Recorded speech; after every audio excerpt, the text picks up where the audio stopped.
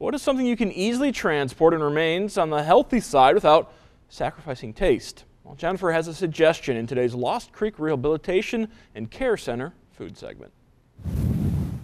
Thank you, Mark. Well, what is popular this time of year? Apples. So today we're bringing you a recipe that uses the harvest from the season and still gives your sweet tooth a bit of a treat. We found this recipe after searching online for healthy tailgating recipes. Hmm. And today we're going to make caramel toffee dip. Are those apples Excited? from Suitors? No, these apples are from Walmart. They're from Walmart. They're Suitors would be much better. Else. We would love to have Suitors apples. So let's get to work get on our things. You can slice it yeah. if you want to start getting the ingredients. Very simple. Oh, good job. that was great. Ah. All right, well, we have our sliced apples, but now we myself. need our dip. What's our first ingredient? Our first ingredient is a half a cup of Greek yogurt. So we have Greek yogurt here. Half you want to fill up half a cup and put it in the bowl. Everything can just get mixed in this bowl. While you're doing oh, that, oh, this is messy. Why don't you take your favorite ingredient, sour cream. Oh, it's so disgusting. Actually, you, you know what? That. I'm gonna. I'm, sour cream is excellent.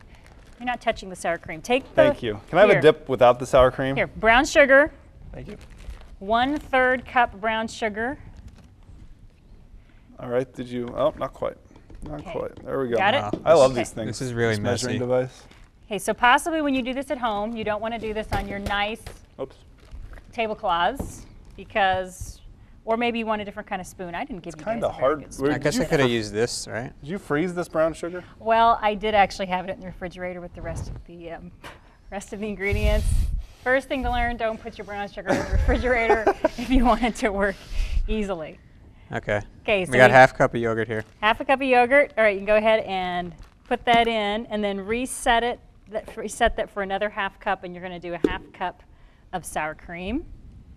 I just want to mention that a lot of sour cream has a bunch of junk ingredients in it, so you sure might does. want to purchase the kind that in fact all sour doesn't. Junk. This particular one just is cream and. That's what we're making, right? Ah, I lost my apple. that is an interesting uh, way to pack your brown sugar, Andy.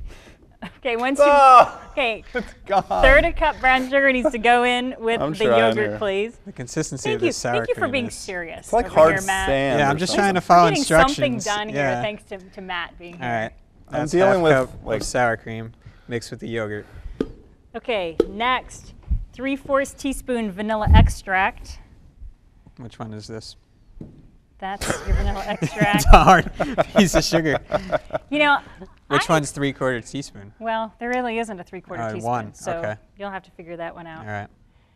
Okay, and then Andy, we're going to need five. You have a hundred teaspoons and one that's of the eye, right? That's the eye test. We have five five tablespoons of toffee bits. What is toffee exactly?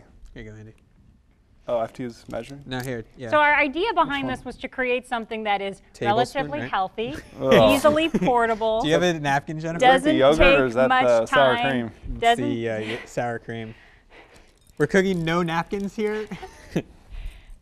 If you'd like to donate to the Faith and Friends Yeah. Kitchen wanna lick that? organization, want to provide some of your gross. things that you have in your kitchen, then that might help us out. Okay, All guys, right. Then mix we're doing this well though up. right now. Mix mix it all up. You might want to use the spoon for that. So what is toffee exactly? Sugar, palm oil, This is dairy like a, butter, A rock of sugar here. almonds. Did you know almonds were in this? I did not know Me neither. almonds. Almonds were. I guess if you have a nut allergy, this is not something that would be for you. Yeah, so we put together tough. very simple Trying to get in ingredients: Greek yogurt, sour cream, brown sugar, vanilla extract, and toffee bits. So did you guys? Did you do five, five tablespoons of toffee bits? Oh, five of them? Oh, Na- Andy just did one. I did one. Oh yes, Yeah. no, five tablespoons of toffee bits. Yeah, there you go. That looks terrible. I'm sorry. No one donated it, so I can say that. The sugar's almost done breaking up here. You know what this makes me do, Jennifer? It makes me eat an apple without the you- dip. Well, So, mission accomplished. I'm eating healthy. so this is a dip you can create very quickly. As you can see, it should be very easy. Wow.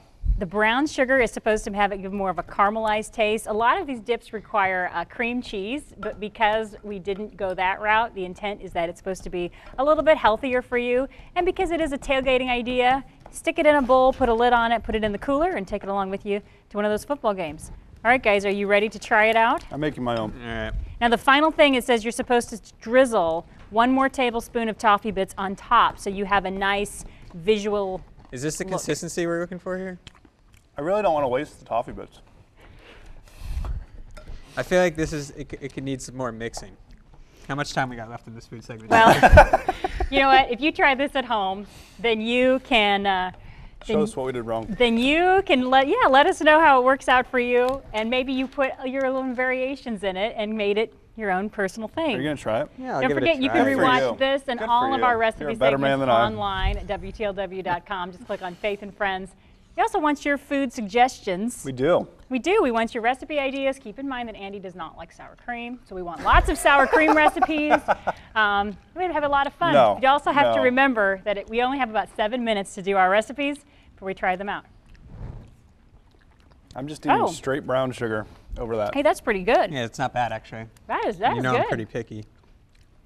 All right, Andy, we'll keep it. This is pretty good. It's all for you guys. The toffee gives it a little bit of a crunch. I got some. Yeah. I Taste that it, sugar. I give it a thumbs up. All right, well, we, as we enjoy our sweet treat, Zach Bowers has something else sweet to discuss. He's with Bill Harris as they talk about the sweet spot of God's will.